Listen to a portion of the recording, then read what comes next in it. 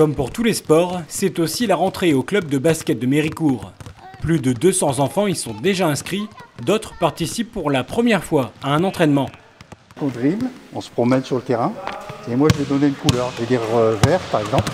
On commence par leur apprendre à dribbler. Ensuite, ce qu'on leur apprend à faire aussi, c'est se faire des passes. Et puis euh, en dernière euh, option, ce qu'on tente de faire, c'est les faire shooter au panier, ce qui est peut-être l'exercice le plus compliqué. Mais qui mérite des encouragements quand il est réussi. Au MBC, créé il y a plus de 30 ans, chaque catégorie d'âge est représentée, comme les nouvelles U11 féminines cette année. C'est en U9 que commencent les compétitions avec Eric. Il était d'abord le simple papa d'une licenciée. C'était ma première saison en tant que coach l'année passée. Donc avec les U9, bah, là j'en ai gardé une partie, ça s'est passé très très bien. Et puis au fur et à mesure de la saison, bah, ils ont confiance en toi, donc euh, c'est important aussi et puis ça fait plaisir.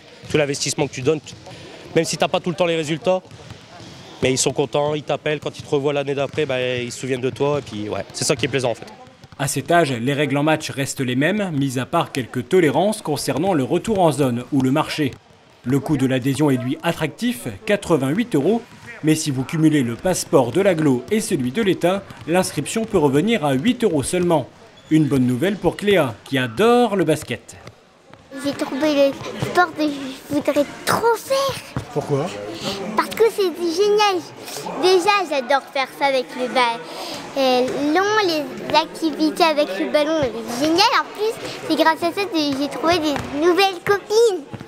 Alors pour toutes ces raisons, rendez-vous à la salle Tommy Smith du complexe Ladoumec de Méricourt. Chaque enfant pourra y trouver son créneau et son bonheur.